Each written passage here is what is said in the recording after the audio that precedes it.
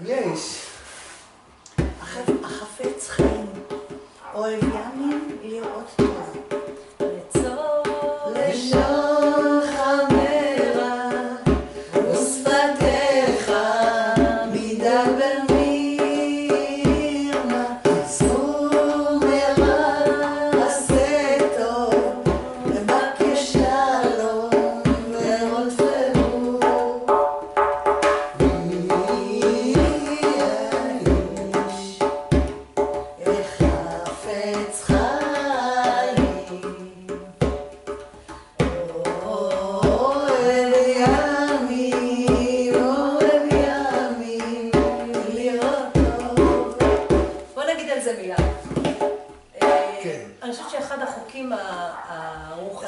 הראשונים, קצת גורם לי לדמוע מהתרגשות. השיר הזה הוא מדהים תמיד. מאוד, ככה, הוא מרגש אותי, מבפנים הוא מוציא לי החוצה דמעות של אושר, איזה איזה של כיף. התרגשות.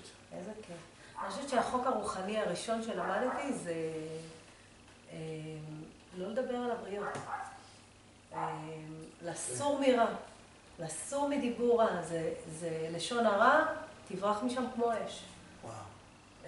אה, רכילות, זה התחתית של ה... זה ה... הזנב של ה... אני רואה באינטרנט לפעמים זה, אני רואה איזה תמונה, משהו כתוב, ואז אני רואה שזה בסגמנט של רכילות, אני אומר, לא, עזוב, אני לא רוצה להיכנס לשם. זה כל כך נכון שאנחנו מדברים אברקדברה, אנחנו בוראים את הדברים שלנו, ונוכחתי לראות את זה פיזית. מכירים את, העניין הזה עם, המשחק עם האצבעות, בטט העינים מסתמן. בואי תסגרי רגע אצבעות. תראי מה קורה שאני, אני אנסה לפתוח אותם ככה, בסדר? ותנסו את זה. אני לא אומרת, אני אה. אומרת, אתה כן? עושה טט, אלא אם כן אתה עושה לא, לא טט, תטא, אה, אני לא עושה את-. את אני רוצה. רק להראות איך הכוח של המילה... אז בוא נראה את המטוטלת של הגוף, הופה. אוקיי? כן. אה, עכשיו, שאלה אם המצלמה אה, צריכה להתרחק בשביל זה. יש לגוף מטוטלת שהיא מטוטלת פנימית? כן. אוקיי. אוקיי, בוא נעשה תרגיל. אבל השאלה אם אה, נקום ו... למה? אה, זה אי אפשר צריך משהו? לעמוד, צריך לא. לעמוד, אז אנחנו נעשה את זה גם... אז אוקיי. אה, כן. כן.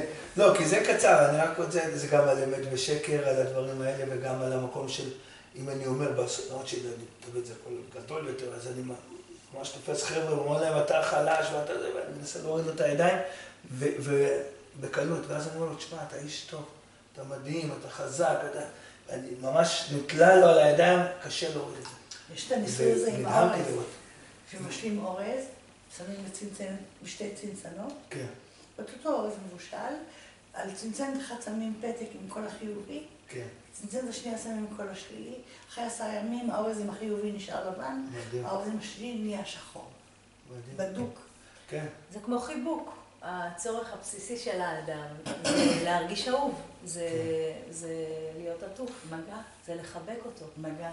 אה, בואו ניקח את זה למקום של הילדים, של אוקיי. הילדים שלנו. כן, אה, יש לי ילדה שהיא בגיל ההתבגרות, ואנחנו חווים בכלל עם הילדים, גם הצעירים, אה, המון המון קשיים, המון תסכולים. אוקיי, ילדים אה, יכולים להיות, להיות מאוד מתוסכלים כי אומרים להם מה לעשות, כי כן. הם... ואני חושבת שהרבה פעמים, קודם כל כשמתחילים לצעוק אז להוריד את הקול, ודווקא ברגעים כאלה לחבק אותם. זה גם לתת לגיטימציה אה, לרגשות השליליים שלהם כדי שבאמת יוציאו אותם, ישחררו. אותם. ולהיות שם בשבילם, לאהוב אותם, ולהוכיח להם שהם אהובים, מעצם היותם הם. כן, זה המקום של... כן, מעבר. המקום הזה של עשה ולא תעשה. אה, ילד צריך לדעת שאוהבים אותו ללא תנאי תמיד. יש מעשים שהם לא יעשו. זה עשה ולא תעשה.